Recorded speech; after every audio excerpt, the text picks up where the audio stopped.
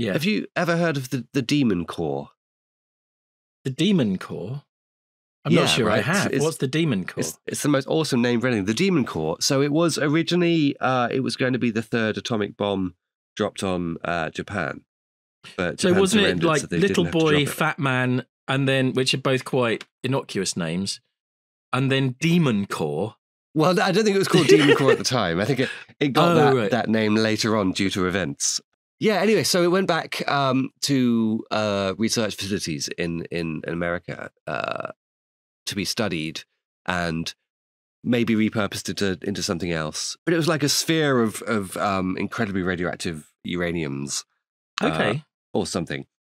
Yeah. Uh, so they they had to do some tests on it to find out how reactive it still was and if it was still viable. right. Uh, but it's responsible for two uh, horrible radiation events where the scientists Oh. working on it were were killed. Um, oh no. uh, but the the reason for them is is that the, the kind of it was all very loosey goosey the way they they experimented on this stuff. They used geese. So like there's there's yeah absolutely geese. they should have yeah, used they just threw humans. geese at it. That, that's where they've gone wrong Mm. there. That's why it's gone wrong. Geese So to measure- to useless measure- nuclear physicists. to measure its its um like reactiveness. Yeah. Uh, they had an experiment. There were two actually. Two. This happened twice. Yeah. So the first one was uh, the guy who was in charge of of doing this. Um, so basically, you tried to make it go uh, critical. Yeah. Oh, not quite critical, but you you put things that uh, deflect the neutrons down. So kind of um, uh, bricks of some kind of metal, I forget, uh, that reflects the neutrons back, Right. and that's what causes it to go critical, right? Yeah. Uh, if you seal it in and that, then then everything goes back, and it's a self-sustaining chain reaction that, that makes it go boom.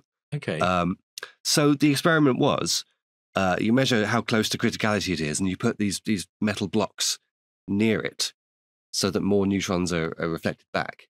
Um, and the guy was doing this like in the evening. Office was shut, just him on his own, just a guy there with some with an incredibly dangerous uranium source wow. and some blocks, and was just putting them down and measuring it.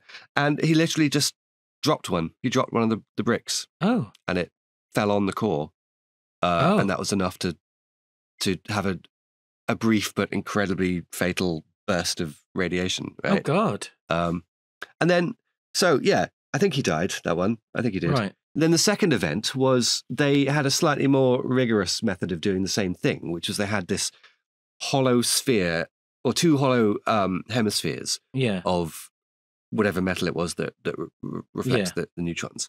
And so the, the demon core was inside one of them on a table, Yeah. and you put the other one on top. And the idea was they had little chocks around it, right? That you Mm. would take the core off and you would replace the chocks with smaller ones and put it back on and then measure, take it off, put smaller ones and measure.